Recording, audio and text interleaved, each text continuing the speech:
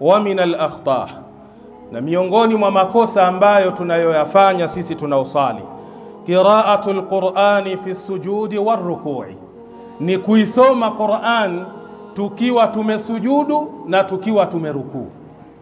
Huu ni mtihani mkubwa sana Shekh. Unamkuta mtu amerukuu anasoma Qur'an, unamkuta mtu amesujudu anasoma Qur'an. Mbaya zaidi Sheikh, mtu akiwa amesimama anatakiwa asome suratul Fatiha. Wallahi Sheikh, kuna baadhi wanasoma atahiyatu akiwa amesimama hapa atahiyatu. Shekhe, mawazo yako yako wapi? Yaani mpaka kwenye ibada ya Allah mawazo yamekuzonga, yamekuchanganya, unafikia mahala unaisahau suratul Fatiha, unasoma atahiyatu ikiwa umesimama. yani mtu anafika innaka hamidun majid, ndo anajua kumbe ee, ee, hii sio suratul Fatiha. Subhanallah, alhamdulillahi rabbil alamin. Jamani, tupunguzeni mawazo, yatatuua haya mawazo. Hata kama maisha yamekuwa magumu kwa sasa, jaribu kupunguza yale mawazo yako. Simama kwa Allah ikiwa mawazo yamemwelekea Allah, kuwa na utulivu. Qala Rasulullah sallallahu alayhi wasallam, amesema mtume wa Allah, rehma na amani zimshukie yeye, ala jueni na kutanabahi masahaba wangu na umma wangu. Wa inni nuhitu an aqraa alqurana rakia, na hakika yangu mimi mtume wenu nimekatazwa kuisoma Qurani nikiwa nimerukuu. Au sajida au ikiwa nimesujudu.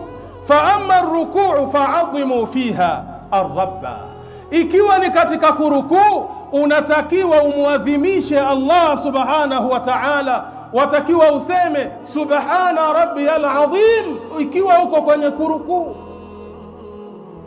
Wa amma sujudu, na ama ikiwa umesujudu, fajtahidu fi duai, jitahidini kuleta dua mbalimbali. Baada ya kusema subhana rabbiyal a'la, watakiwa dua yoyote uilete ikiwa umesujudu.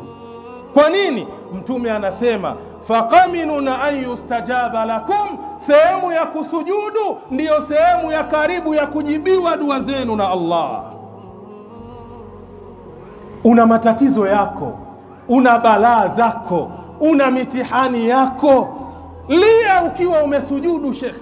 Hapa ndipo uko karibu na Allah subhanahu wa ta'ala, na ndiyo sehemu ambayo ya kujibiwa watu dua zao lakini leo mtu akishasema subhana rabbiyal a'la wa bihamdi, bas habari imefanya nini?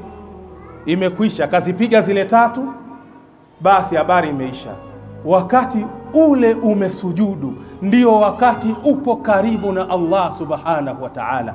Lia, lete shida zako, matatizo yako yalete pale kwa Allah subhanahu wa ta'ala, mlilie Allah. Allah ndo aliyesema ud'uuni astajib lakum, niombeni nami nitawajibu. Kwa nini Allah asikujibu?